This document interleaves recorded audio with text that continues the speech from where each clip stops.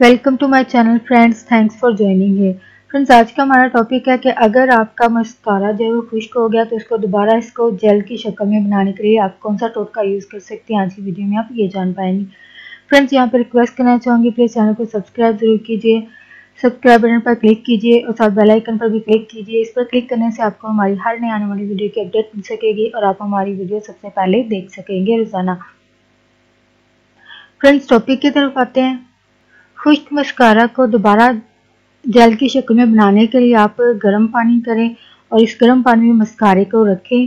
बाद में इसको निकाल कर आप इस्तेमाल करें। ये दोबारा जो है, जेल बन जाएगा पानी क्योंकि गर्म होगा, उसकी वजह से ये दोबारा जेल की शक्ल में तब्दील हो जाएगा। और बिल्कुल नए मस्कारे की तरह काम करेगा। होप फ्रेंड्स आज का टोटका आपके लिए यूज़फुल रहे। प्लीज़ मजीद अवेयरनेस और गाइड के लिए फ्रेंड्स एंड फैमिली के साथ वीडियो को शेयर ज़रूर कीजिए वीडियो को लाइक ज़रूर कीजिए और प्लीज़ कमेंट ज़रूर कीजिए। आप कोई एक्सपीरियंस अपना जो शेयर करना चाहती हैं कि आप मस्कारे को कैसे आप जेल की शक्ल में वापस बना पाई हैं। अगर वो कुछ अपना एक्सपीरियंस शेयर करना चाहते हैं तो प्लीज़ कमेंट में जाके अपने एक्सपीरियंस को ज़रूर लिखिएगा। कोई टोटका यूज़ करती हैं तो वो ज़रूर लिखिएगा। और प्लीज़ चैनल को सब्सक्राइब ज़रूर कीजिएगा। Thanks for watching video